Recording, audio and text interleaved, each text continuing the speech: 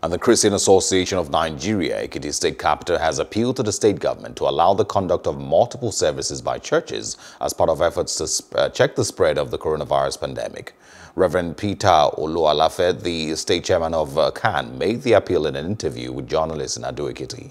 The deadline for worship centers to meet certain conditions before reopening up for normal services expired on Friday, 14th of August. Investigations revealed that mosques on Friday commenced normal Jumat prayers with full adherence to COVID-19 protocols such as social distancing and washing of hands with water and sanitizers. According to him, churches should be allowed to conduct multiple services in view of the limited worship hours occasioned by COVID-19 pandemic.